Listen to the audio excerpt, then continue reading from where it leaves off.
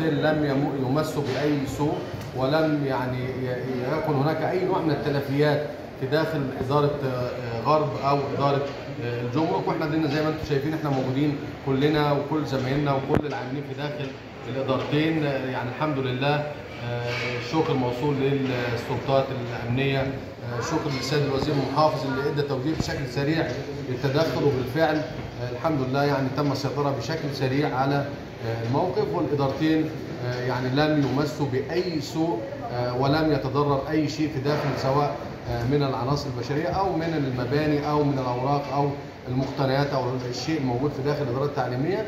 الحمد لله الأمور تمام وزيكم زي ما أنتم شايفين عودة الكهرباء مرة جديده مرة ثانية والإنترنت للإدارة التعليمية ولم يكن هناك أي نوع من التلفيات. فأنا بطمن كل آه، يعني آه، أهلنا في داخل محافظة اسكندرية إنه إدارة غرب التعليمية وإدارة الجمرك وهم آه، يعني إدارتين في مبنى واحد منفصل لم يمسوا جنب الأستاذ محمد آه، سليمان مدير عام إدارة غرب والدكتورة روحية أبو غالي آه، مدير إدارة الجمرك والحمد لله يعني فبطمن الجميع إنه الأمور مرت بشكل سالم وآمن وما فيش أي مشكلة الحمد لله.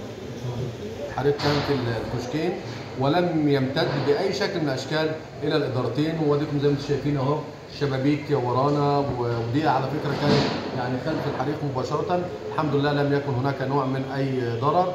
وأشكر رجال المطافي ورجال الحمايه المدنيه بالفعل لسرعة التدخل وسرعة إخماد الحريق في يعني في وقت قياسي. الحمد لله. هل سيؤثر يعني ما حدث على استمرار العمل داخل المبنى ليس الإداري؟ هناك أي نوع من التأثير العاملين في داخل الاداره آه، خرجوا في الموعد المناسب ليهم وبكرة إن شاء الله آه، العمل مستأنف وإحنا عندكم زي ما أنتم شايفين ومعانا إحنا كلنا موجودين في داخل الإدارة التعليمية آه، ليس هناك نوع من التأثير بأي شكل من الأشكال.